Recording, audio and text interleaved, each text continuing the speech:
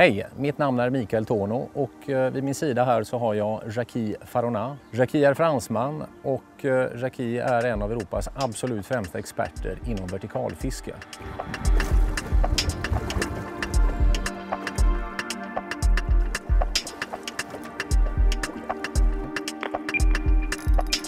Oui.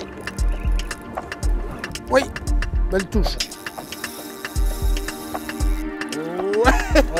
Vi går över nu till att titta lite grann på vilka beten Jackie använder sig av och eh, när han använder sig av dem.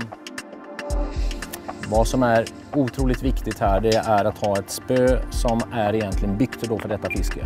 Har du ett spö som är anpassat efter, efter detta så känner du exakt vilken typ av botten du har. Upp, där! Jag satt den. Oh, Vad så? oh, fiche. Ouais, Voilà. ça c'est une belle touche. Hop! Oj! Ouais, doublé. Oh. Ja, diagonalfisket är effektivt. Det här är spännande. Det här är otroligt spännande. Bon. Très bien. Oh, oh là là. Oui, là. Ouais, ouais, perfect. Bravo. Ah, Michael. Bravo. Så följ med oss på en spännande resa i vertikalfiskets underbara värld.